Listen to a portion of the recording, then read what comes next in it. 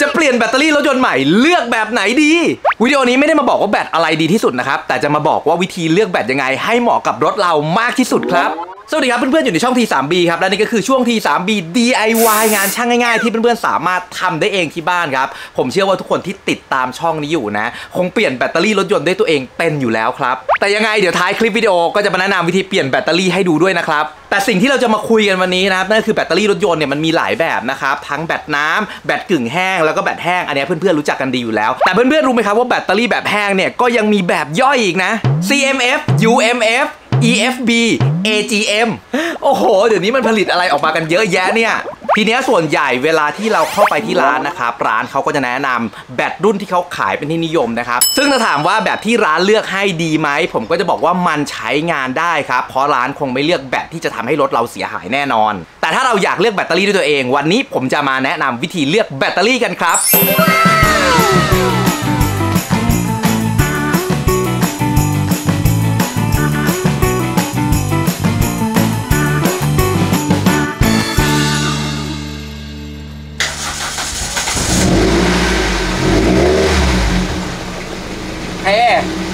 งานได้ครับ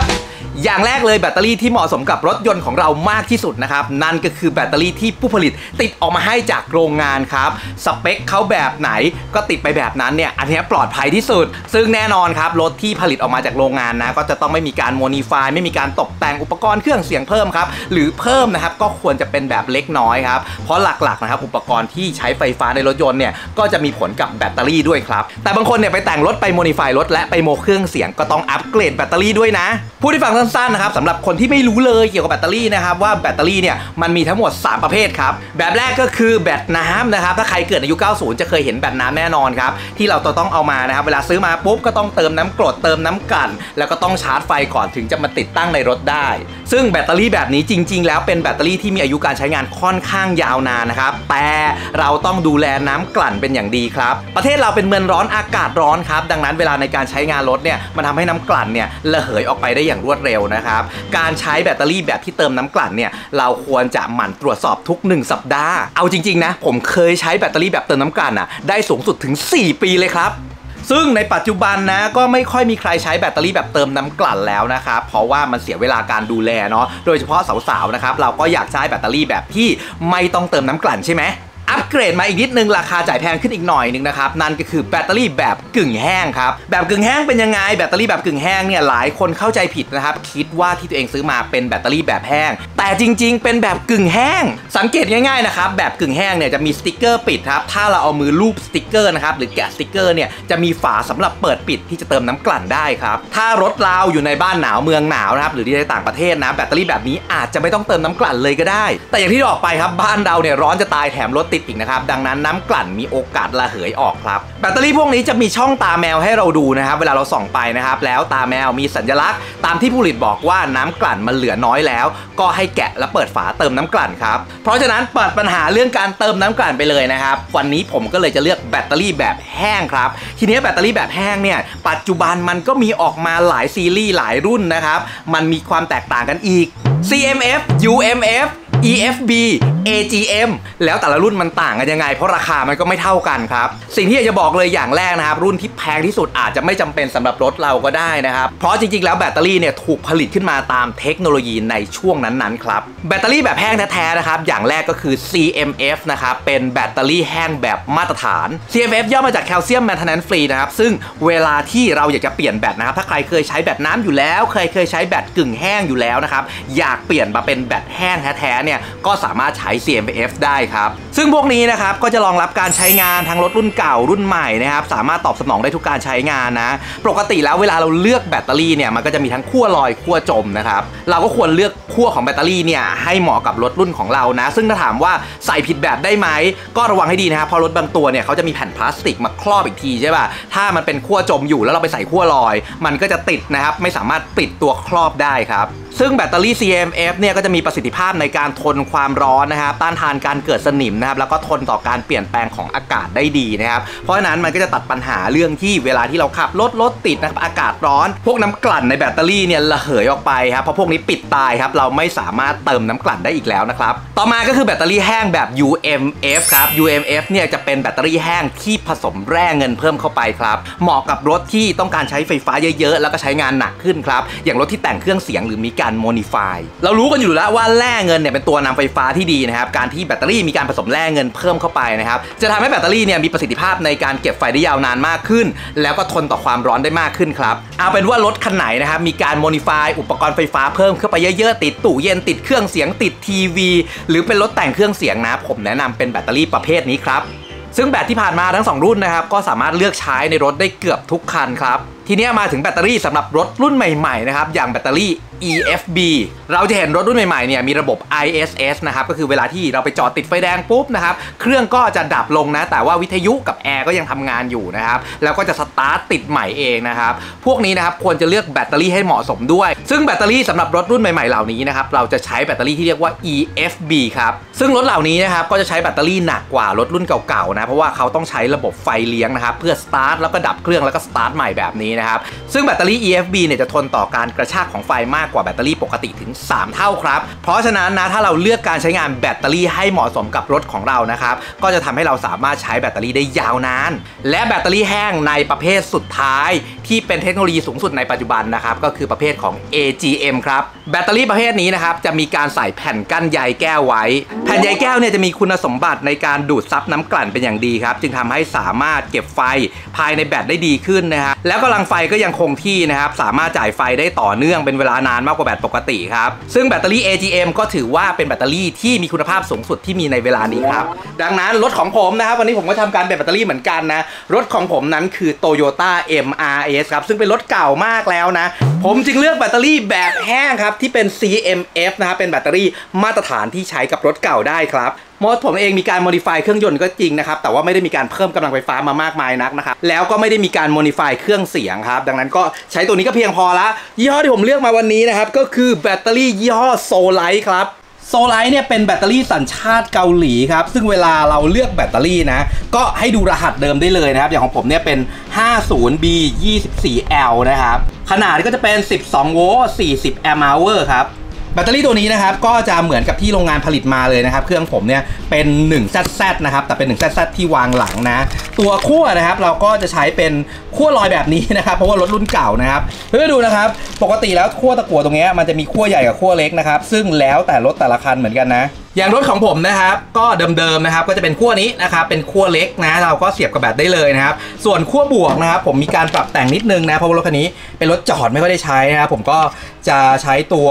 เขาเรียกว่าอะไรอะควิกนะครับตัวถอดแบบควิกนะครับมาเสียบนะ ซึ่งตัวเนี้ยมันจะต้องทำการขยายนะครับ ขยายขั้วนะครับ เป็นขั้วใหญ่ครับ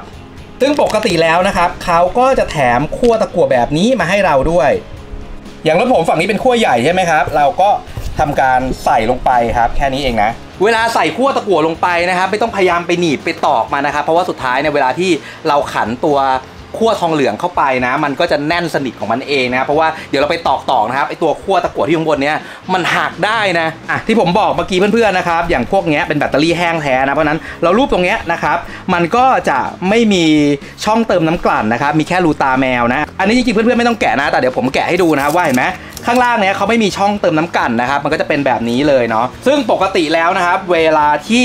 เราติดตั้งแบตเตอรี่นะ เราก็ควรจะมาร์กไว้ด้วยนะครับ ว่าเดือนไหนนะครับ ปีไหนนะคราวหน้าเวลาเปลี่ยนนะ เพราะว่ามันใช้งานเป็นปีนะ เดี๋ยวเราจะลืมนะครับ ผมก็ทำการมาร์กไว้นะ อันนี้ตอนนี้ก็ปี 65 นะครับอ่าเดือน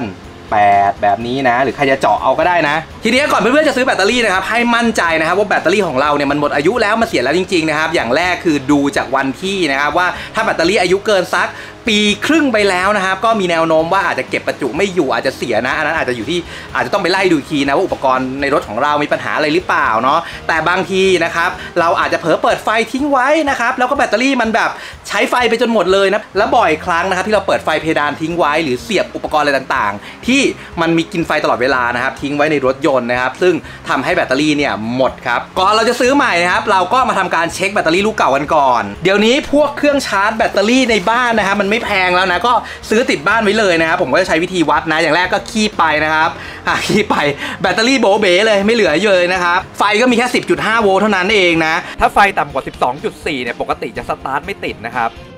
จะลองชาร์จไฟเข้าไปดูนะอะเสียบปลั๊กนะครับ ให้เครื่องชาร์จทำงานฮะอะ ซึ่งเวลาชาร์จนะเพื่อนๆจะเห็นนะครับว่าไฟที่ชาร์จเข้าแป๊บเดียวเต็มเลยนะครับมันเป็นไปไม่ได้เลยนะ จากแบตศูนย์เมื่อกี้นะครับพอเราชาร์จปุ๊บเสียบปุ๊บเต็มแบบนี้นะครับไม่ใช่เครื่องเสียนะ คือจะบอกว่าอันนี้แบตเตอรี่มันไม่เก็บประจุแล้วนะชาร์จปุ๊บเต็มปั๊บแบบนี้นะครับแปลว่าแบตเตอรี่ใช้ไม่ได้แล้วนะ ต่อให้เครื่องชาร์จเนี่ยมันมีระบบ repair ก็คืนกลับมาไม่ได้นะ เต็มที่คืนได้5%เนี่ยไม่มีประโยชน์เลยนะครับซึ่งถ้าแบตเตอรี่ยังใช้งานได้นะ ประจุมันก็ควรจะใช้เวลาชาร์จนะสักประมาณ 2-3 ชั่วโมงขึ้นไปนะครับหรือว่า repair เนี่ยสักประมาณ 11 ชั่วโมงครับทีนี้เรามาดูแบตเตอรี่ Solite ของผมกันนะครับซึ่งอันนี้ก็เพิ่งซื้อมาแกะกล่องเลยนะแบตเตอรี่สมัยนี้เวลาที่เราซื้อมาไม่ต้องเอาไปชาร์จแล้วนะครับเพราะว่าเขาจะชาร์จประจุมาจากโรงงานเลยนะไม่ต้องเติมน้ำกรดน้ำกลั่นอะไรทั้งนั้นนะแบตเตอรี่แห้งเพื่อนๆจะสังเกตเห็นนะครับว่าแบตเตอรี่ตัวนี้ไฟเต็ม เรายังไม่ได้ติดอยู่ในรถนะ เพราะฉะนั้นเนี่ยแบตเตอรี่ก็จะขึ้นมาเป็น 12.7 โวลต์ครับแบตเตอรี่อยู่ในรถนะครับกำลังจะแกะแบตเตอรี่ออกมาเปลี่ยนนะครับเวลาเราถอดขั้วแบตเตอรี่นะอ่าให้เพื่อนๆไล่อย่างนี้นะครับเวลาถอดนะครับให้เราถอดแบตเตอรี่จากขั้วลบก่อนนะครับอ่าแล้วก็ค่อยมาถอดขั้วบวกทีหลังนะครับ แต่ส่วนเวลาเราติดตั้งเข้าไปนะครับ ให้เราติดตั้งขั้วบวกก่อนนะครับ แล้วก็ค่อยติดตั้งขั้วลบทีหลังครับ ส่วนใหญ่นะครับขั้วแบบทั่วไปนะก็จะเป็นประแจนะครับ ใช้ประแจเบอร์ 10 นะ หรือใครจะใช้ก๊อกแก๊กแบบผมก็ได้นะ ถ้ารถของเพื่อนเป็นที่วางแบตเตอรี่แบบเดิมๆนะครับมันจะวางง่ายมากแต่รถผมอะโมดิฟายย้ายที่วางแบตเตอรี่ครับจากที่มันอยู่ข้างหน้าข้างบนตรงนู้นเนาะย้ายมาข้างหลัง ซ่อนไว้ตรงนี้นะครับเพราะนั้นเนี่ยผมก็จะมีความลำบากเล็กน้อยครับอ่าก่อนอื่นนะ ผมก็จะเอาตัวแบตเตอรี่ของผมนะครับ ใส่เข้าไปก่อนครับ วางให้ตรงกับแท่นนะ เวลาเราซื้ออะบางทีบางคนบอกว่าโอ้ยไปอัปเกรดลูกใหญ่เลยนะครับจริงๆถ้าเราไม่มีการเพิ่มไฟฟ้าไฟฟ้าอะไรมันก็ไม่ได้จำเป็นที่จะต้องเพิ่มลูกใหญ่นะ เพิ่มใหญ่ไปใหญ่มาระวังขาดมันวางไม่ได้นะครับอ่านั่นต้องระวังด้วยนะตัวล็อกแบตเตอรี่นะครับเพื่อนๆจะใช้ตัวเดิมก็ได้นะครับ แต่ผมพอดีซื้อตัวใหม่มาด้วยนะครับ ก็ใส่ตัวใหม่ไปเลยนะครับเอาอยู่ข้างในเห็นหรือเปล่าก็ไม่รู้แต่มันสวยดีนะฮะขั้วแบบเดิมๆนะครับ ปกติเราใช้งานเราจะไม่ได้ดูแลนะครับอ่าถ้าใครขี้เกลือขึ้นนะก็ล้างน้ำร้อนนะครับ อ่าหรือว่าถ้าใครของผมแบบของผมนะ มันเป็นทองเหลืองเนี่ยแหละ แต่ว่ามันมีคราบสนิมนะครับ เราก็อาจจะเอาโซเนกนะครับ มาช่วยฉีดสักหน่อยหนึ่งนะครับ แล้วก็ทำการคลายล็อกออกครับ หลังจากเราฉีดโซนิกเสร็จแล้วนะครับ ถ้าเราไม่อยากให้มันขึ้นขี้เกลือหรือขึ้นสนิมนะ ผมก็จะฉีดจาระบีเหลวนะครับเคลือบไว้ทีหนึ่งครับ ทุกคนครับเมื่อกี้ตอนเราถอดใช่ไหมเราถอดขั้วลบก่อนถูกไหมครับ แต่ว่าเวลาเราใส่เข้านะครับเพื่อนๆใส่ขั้วบวกเข้าไปก่อนนะครับอ่าแล้วค่อยใส่ขั้วลบทีหลังนะครับ ซึ่ง ของผมขั้วบวกของผมนะจะเป็นแบบถอดเร็วนะซึ่งผมเสียบลงไปอย่างนี้ แล้วผมก็กดคลิกล็อกไปได้เลยรถผมเป็นรถเก่าไม่ค่อยได้วิ่งนะครับผมจะใช้การชาร์จค่อนข้างบ่อยครับดังนั้นเนี่ยผมเลยใช้วิธีที่ถอดออกมาชาร์จนะครับโดยที่ไม่เอาแบตออกมานะซึ่งพอผมติดตั้งขั้วแบตไปแล้วนะครับพอดีผมมีตัวมิเตอร์เช็คแบตเตอรี่ด้วยนะครับแบตก็จะขึ้นเป็น 12.8 นะครับอะเดี๋ยวเราลองไปสตาร์ทรถกันดูนะทุกคนครับผมไม่ได้สตาร์ทรถนานมากนะครับ ซึ่งจริงๆก็ไม่ควรจะปล่อยไว้นานขนาดนี้นะอ่า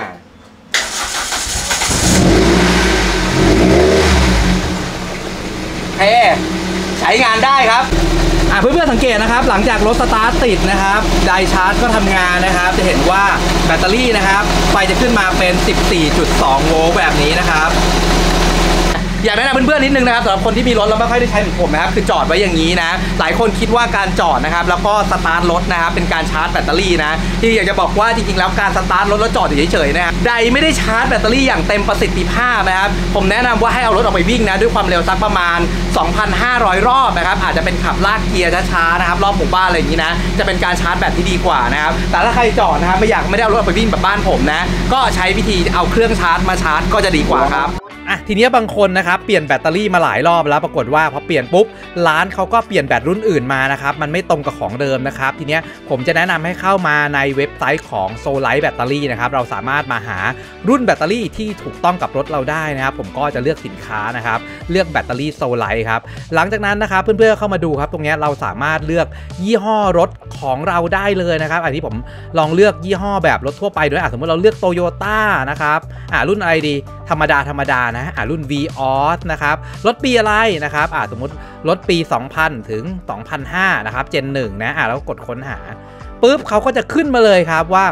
แบตเตอรี่ของเราเนี่ยนะครับจะต้องใช้สเปคไหนนะครับแบบถูกต้องเลยนะตามโรงงานผู้ผลิตเลยนะครับแบบที่เรายังไม่โมดิฟายรถยนต์เพิ่มนะแบตเตอรี่นะครับก็จะเป็นสเปคตามนี้เลยนะครับซึ่งเขาก็แนะนำครับรุ่นนี้เป็นรุ่นแนะนำนะคือ 40B 19L นะครับแบตแห้งรุ่นมาตรฐาน ใครอยากอัปเกรดนะครับมีการแต่งเครื่องทรงเครื่องเสียงนะครับ ก็อัพเป็น 50B ก็ได้นะครับอัพเป็น 55 ก็ได้นะใครอยากอัปเกรดเป็นตัวท็อปท็อปเลยนะครับอ่าก็สามารถใช้แบตเตอรี่แบบอื่นได้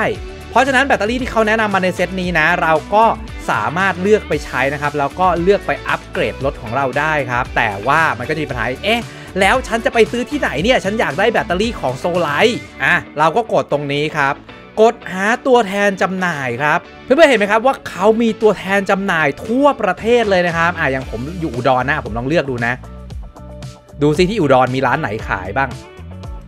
ปุ๊บกดอุดรธานีนะครับ เลือกเขตในอุดรธานีเนี่ยมีแถวแถวไหนบ้างนะครับอะผมเลือกอำเภอเมืองแล้วกันนะครับในเมืองปุ๊บส่วนเราไม่อยากเดินทางไปนะครับเผื่อร้านไหนนะครับเขามีบริการแบบจัดส่งถึงบ้านนะครับนี่เราก็สามารถโทรติดต่อแล้วก็ให้เขามาส่งให้เราที่บ้านติดตั้งให้ที่บ้านเลยก็ได้นี่ครับสะดวกแบบนี้แหละนะ ผมถึงเลือกแบตเตอรี่ของโซลไลท์